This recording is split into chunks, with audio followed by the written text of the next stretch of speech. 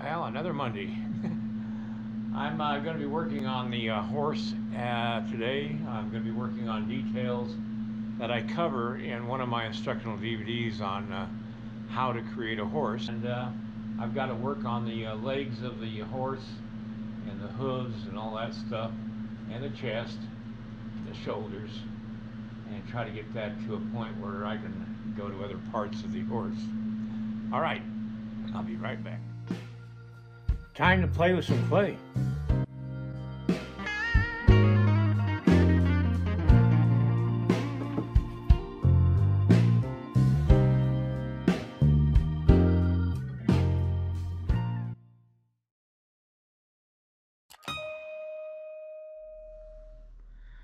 All right, I'm gonna give you a little snippets of what i am doing. I'm not gonna show you the whole process, but uh, I've got my reference for the uh, chest of the horse here. Uh, I got it from an old, old uh, anatomy book that I don't, I tore up and, and Xeroxed each uh, page. Uh, so I'd always have it on my computer. And I don't have it any longer. Anyway, I'm going to I don't know if I can raise this any higher. I may have to bring him up and I'll put a piece of wood underneath him to do that. Well, I put a big piece block of wood underneath the uh, base so I could raise this up to where it's more eye level for me and that just uh, helps me to view it a little bit better. When your sculpting stand doesn't go any higher, you have to figure out how to make go higher.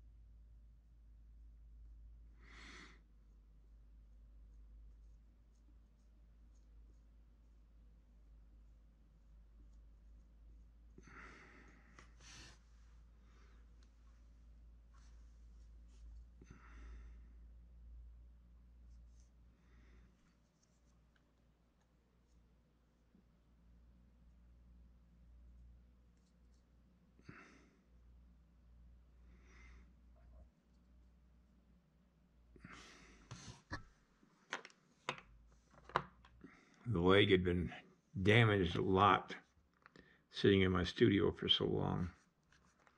So I'm having to do a lot of repairing here.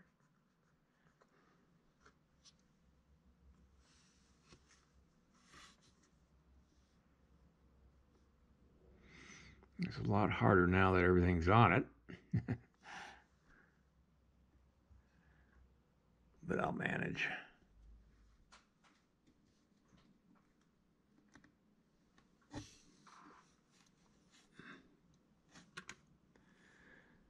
All right, I'm going to pick this up tomorrow. I'll make this a two-day video. It's taking longer than I thought to do all this stuff here. means cutting clay off that's uh, too stiff and it's gotten damaged and having to put new clay back on. And so, like I said, I'll pick this up tomorrow.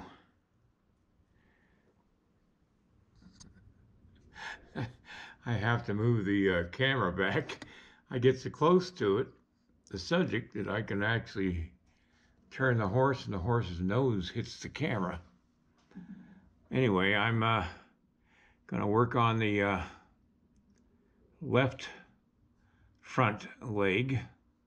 Again, I uh, this is the second day I've been doing this, and I gotta adjust my lights so I can see what the heck I'm doing. There we go. All right, I'll come back as I get uh, further along. I'm redoing the uh, knee joint of the horse because the uh, clay was so stiff and I couldn't work with it. So I had to uh, redo the knee joints on both legs.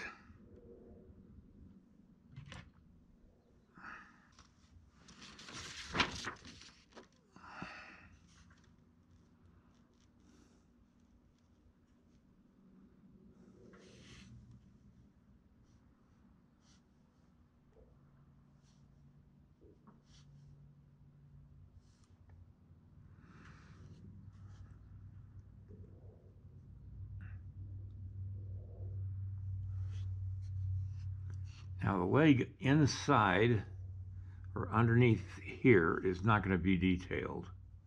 There's just no way of doing it. I'll detail as much on the front part of the leg, but the back part I can't do it because now it's all hidden by the blanket.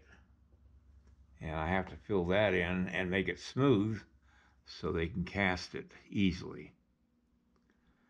And so that's what I'm going to do is fill in it's hard to reach in there because you're going to be banging stuff that you already created. And so I'm just reaching back behind and feeling and filling it in so there's no deep undercuts.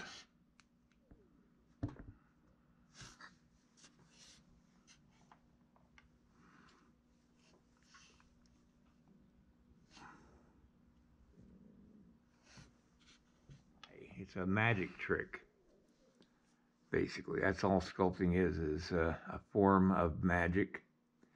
You're creating something that isn't and make it is. if that makes any sense.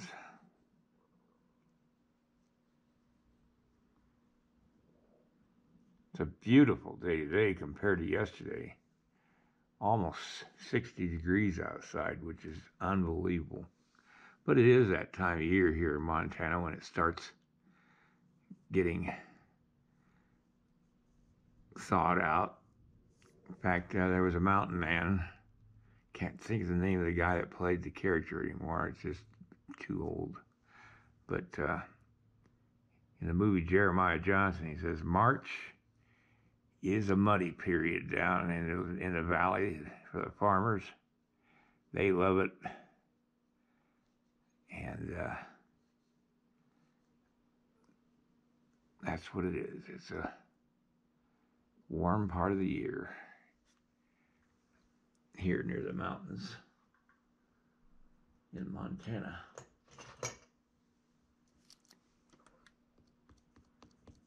Gotta emphasize the edge of that blanket again with my uh, brush.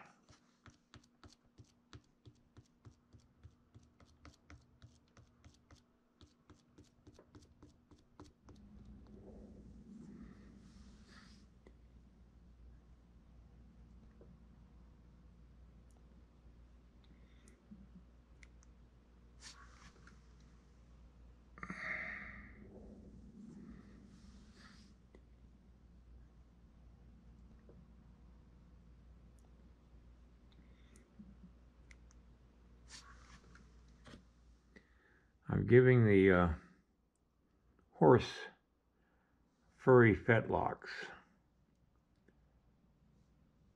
It was a uh,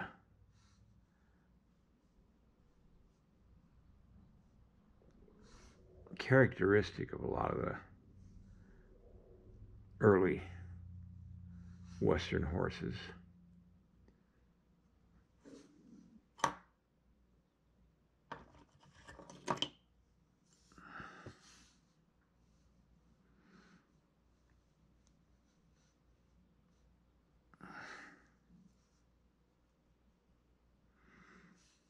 I don't want to overdo it.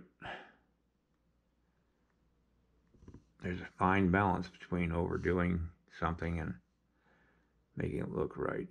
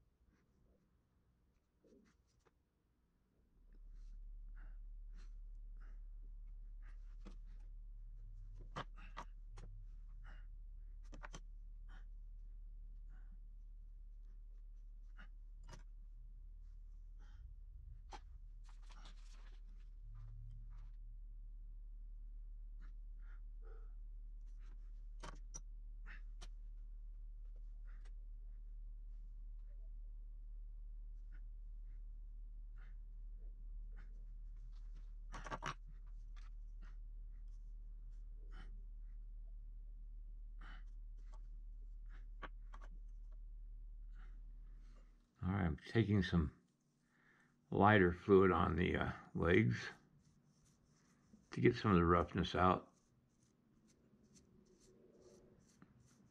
For those who are watching my videos for the first time and don't know what this does, it melts the clay a little bit. There's a property of the uh, plastiline clay that reacts to uh, butane lighter fluid kind of stuff you use put in your lighters. And uh, it reacts to or the clay reacts to the, the lighter fluid. And it it literally softens it. And uh, if you have a bunch of rough areas it will smooth them out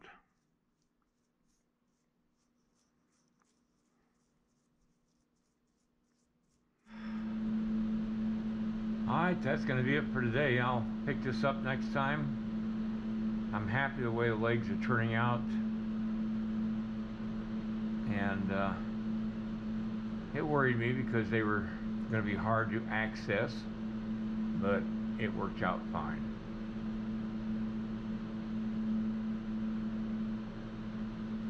Warriors farewell. This is it where it is today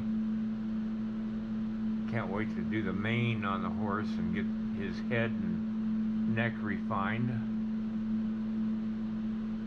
a little bit more. All right, good night, everybody. See you next time. Give me a thumbs up and share my video. And then check out my instructional DVDs, uh, the link down below this video. All right, see you next time.